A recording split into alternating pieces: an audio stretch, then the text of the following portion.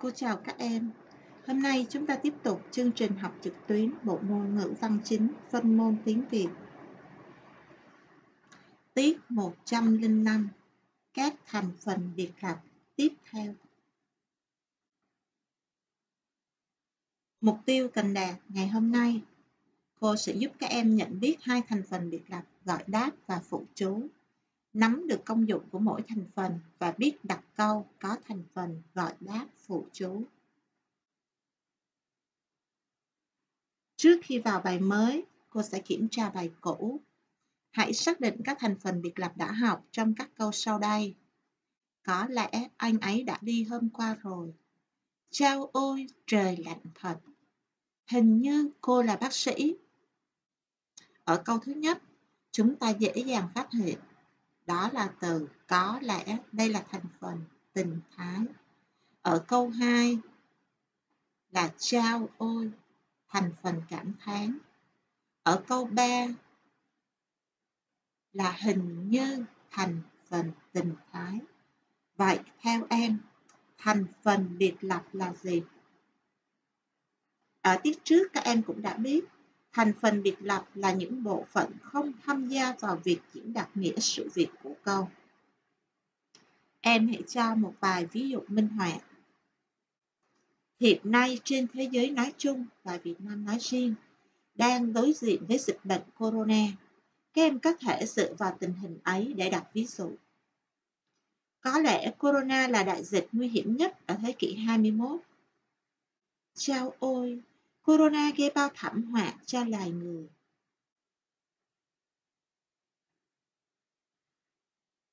Giờ đây, chúng ta bước vào bài học mới. Bài thơ tiếng Việt của Lưu Quang Vũ có đề Chưa chữ viết đã vẹn tròn tiếng nói Vầng trăng cao đêm cả lặng sao mờ Ôi tiếng Việt như bùn và như lộ Ống tre nhẹ và mềm mại như tơ Nghe đoạn thơ ấy, ta cảm nhận được hình ảnh gần gũi, giản dị. Bên cạnh những câu thơ tạo sức gợi bởi những câu chữ được kết hợp với các thành phần cấu trúc ngữ pháp. Ở tiết trước, các em đã được tìm hiểu hai thành phần biệt lập tình thái và cảm thán. Tiết học hôm nay, chúng ta sẽ tiếp tục tìm hiểu thêm hai thành phần biệt lập nữa để góp phần trong việc viết văn và giao tiếp thêm sinh động, phong phú hơn đó là thành phần gọi đáp và thành phần phụ chú. Chúng ta bước vào phần bài học. Các em theo dõi, quan sát và ghi vào vở bài học. Một là Mã thành phần gọi đáp. Ở học kỳ 1, các em đã được học tác phẩm làng của Kim Lân. Nơi ấy có hình ảnh của ông hai, một người nông dân chân chất, giàu lòng, yêu làng, yêu nước. Và trong một lần đối thoại với những người dân tạm cư, ông đã hỏi, các em cùng đọc ví dụ A, B, trang 31 và lưu ý từ in đậm dùng để làm gì. Một, ví dụ A. Này, bác có biết mấy hôm nay súng nó bắn ở đâu mà nghe rác thế không? Từ này, in đậm là dùng để gọi người đối thoại với mình. Và thiết lập quan hệ giao tiếp có tác dụng mở ra cuộc thoại.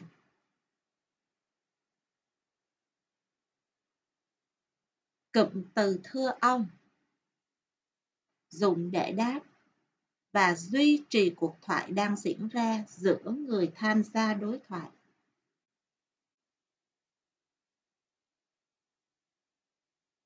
Để hiểu rõ thêm, chúng ta cùng xem một số cuộc thoại.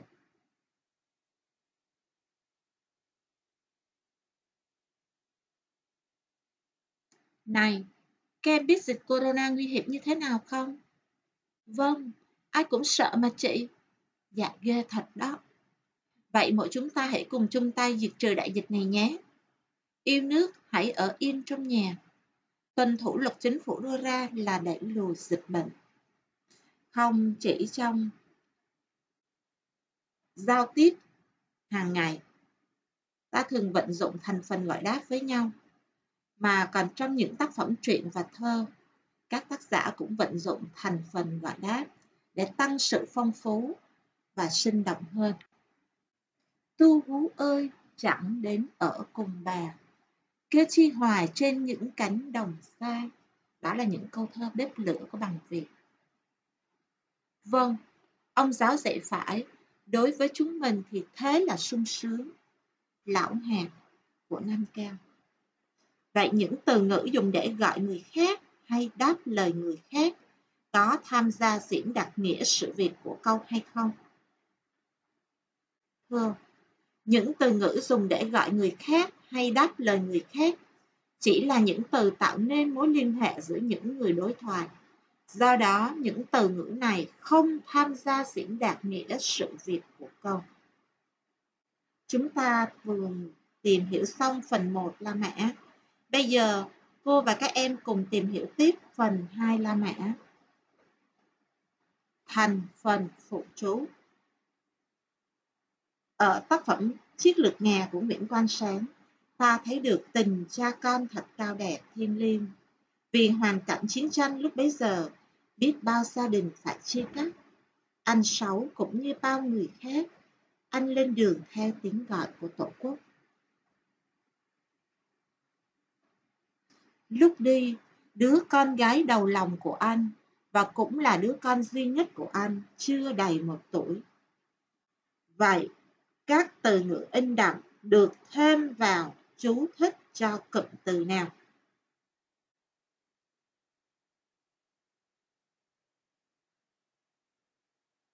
Ở ví dụ A, chú thích thêm cho cụm từ đứa con gái đầu lòng.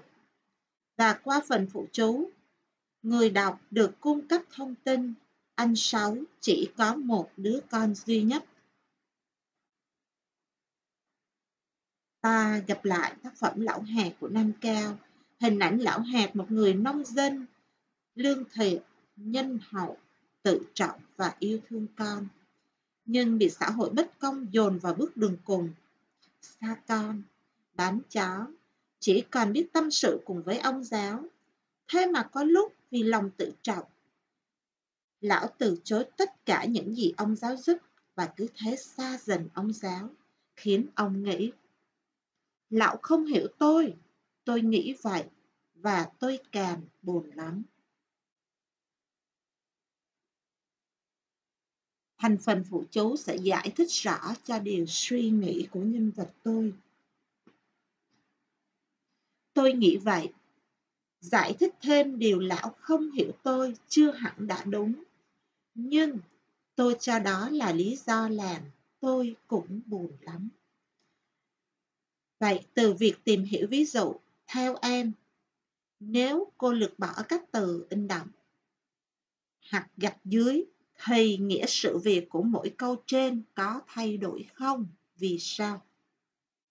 Chúng ta nhận thấy không thay đổi vì không là một bộ phận thuộc cấu trúc của pháp của câu. Thành phần phụ chú này có tác dụng bổ sung một số chi tiết cho nội dung chính của câu. Các em hãy quan sát trên ví dụ và cho cô biết hình thức của thành phần phụ chú là gì.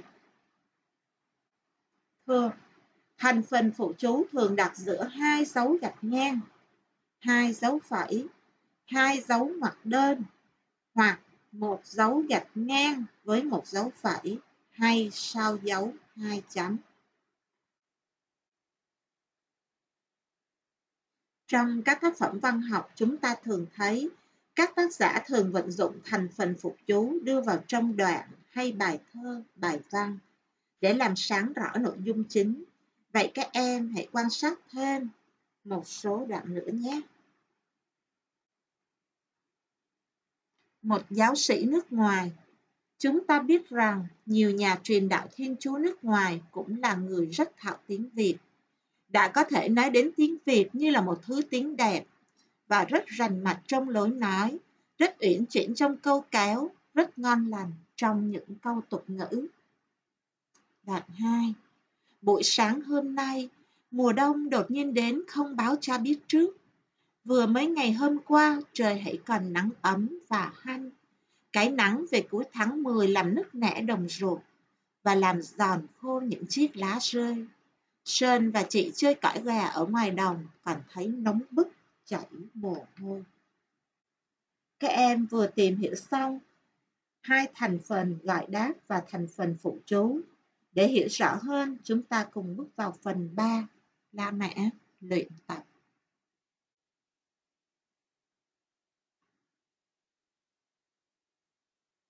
Hãy quan sát ở bài tập 1, trang 32.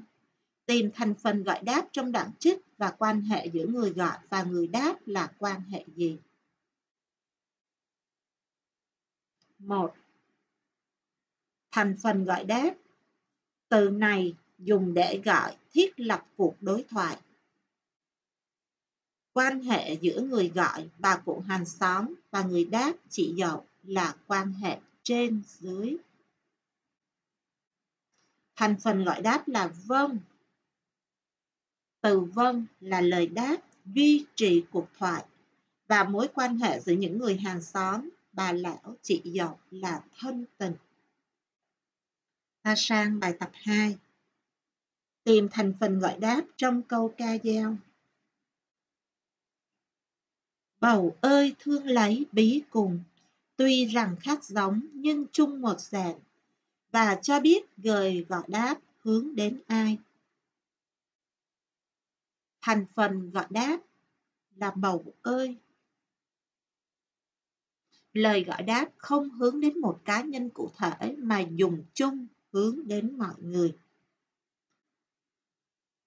Câu ca dao mang một ý nghĩa ẩn dụ, kêu gọi mọi người cùng chung một đất nước phải yêu thương, giúp đỡ lẫn nhau.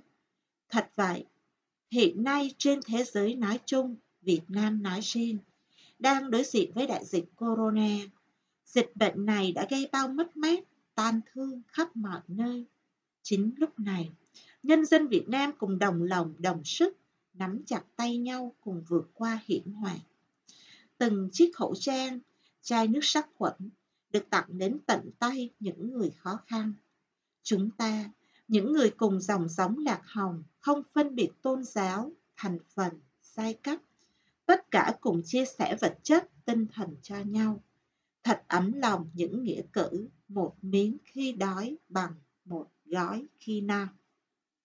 Ta bước sang bài tập số 3, trang 33. Tìm thành phần phụ chú trong các đoạn trích và cho biết chúng bổ sung điều gì.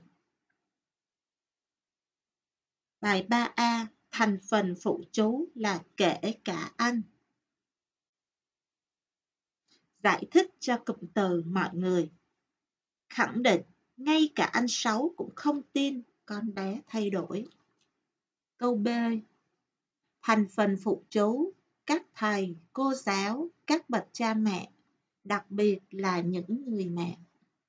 Giải thích cho cụm từ những người nắm giữ chìa khóa của cánh cửa này. Chỉ rõ những người nắm giữ chìa khóa và ai có vai trò quan trọng nhất. Như các em đã biết, bố mẹ là người sinh ra mình. Thầy cô là những người truyền kiến thức cho ta Tất cả mọi người đều mong cho các em lớn khôn và thành người hữu ích. Nhưng nền tảng gia đình vô cùng quan trọng, đặc biệt là mẹ. Bởi chính cái nôi gia đình sẽ giúp các em đủ tài năng, đức độ để sau này cống hiến cho đất nước. Câu C. Thành phần phụ chú những người chủ thực sự của đất nước trong thế kỷ tới.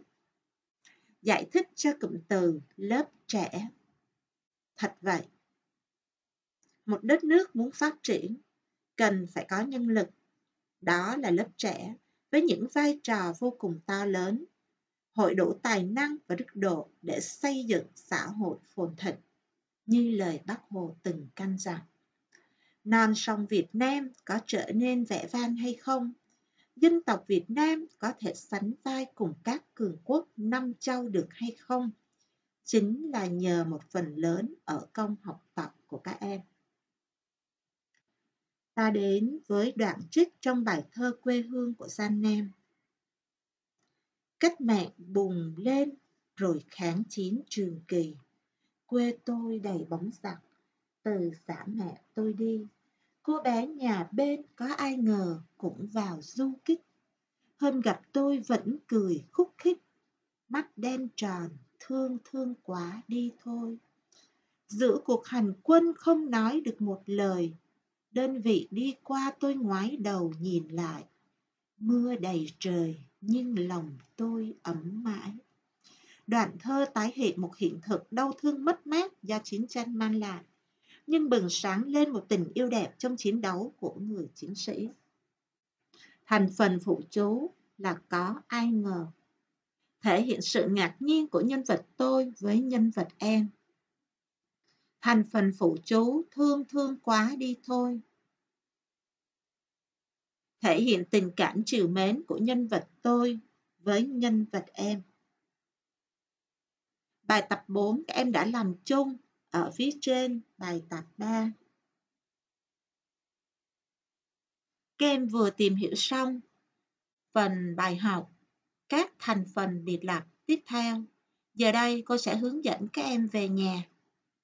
Bài tập về nhà, các em hãy viết một đoạn đối thoại ngắn từ 6 tới 8 câu trong đó có sử dụng một thành phần gọi đáp và một thành phần phụ chú. Các em lưu ý, các em làm vài vở bài tập, sau đó chuyển vào email của thầy cô bộ môn văn của lớp mình, hạn chót là thứ hai tuần sau. Các em xem trước bài Chó sói và cù trong thơ ngụ ngôn của La Fontaine. Các em thân mến, cảm ơn các em đã chú ý lắng nghe. Hẹn gặp lại các em trong những tiết học tiếp theo. Chúc các em luôn khỏe để theo dõi và học bài trực tuyến cho tốt nhé. Mọi thắc mắc về bài giảng các em có thể liên hệ email và điện thoại của cô. Thân ái, chào các em.